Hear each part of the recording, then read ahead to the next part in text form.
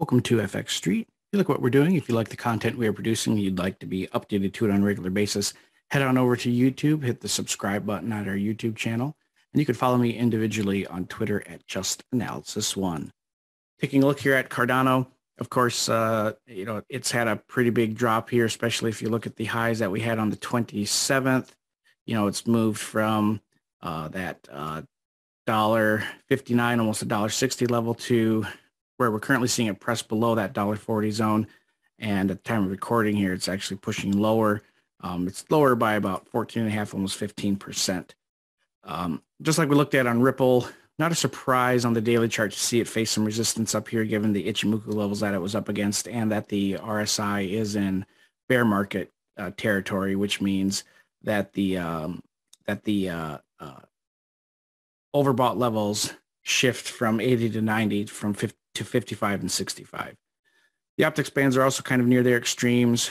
Um, we don't have any uh, bearish divergence present. You know, we were looking at a possibility of a steep drop in the middle of the month because of this uh, head and shoulder pattern developing in the composite index. Ultimately, we didn't get that. We are seeing a steep drop approaching that support level, so we'll see how that responds. But otherwise, you know, from a weekly perspective, I'm not very concerned about Cardano at all here. In fact, I'm very bullish on it still.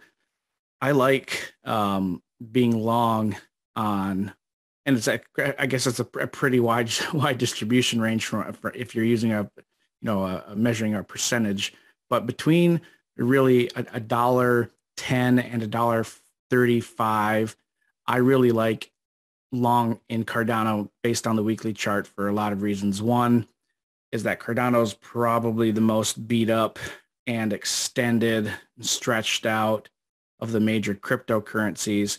Um, you know, it really, it really struggled. It's really struggled to do anything ever since September. Um, you know, you, you've got this uh, Gann death cycle in, in conjunction with its 90 day cycle terminating around the, the month of December. Uh, you have this huge supply zone between a dollar ten and a dollar um, forty.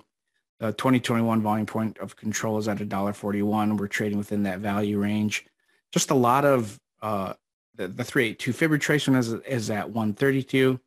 Last week's close was very bullish. Um, you have a nice bullish cross above the uh, uh, fast average in the composite index on the weekly chart after it hit new all-time lows in the composite index. We're still in a bull market on the RSI. So, I mean, yeah, temporary pullback here. I really don't see a lot of cause for concern for me to be to not be long here. I'm very bullish on this, although I am kind of a permabull when it comes to Cardano. But um, regardless of the push down here, this looks like a looks more like it's turning into a bearish fake out than anything else, like kind of a bear trap setup that does it for me on Cardano. Um, well, at first, uh, I guess downside risks, I would say they're limited to that dollar twelve zone, and upside potential over the next few weeks should be limited to two dollars even.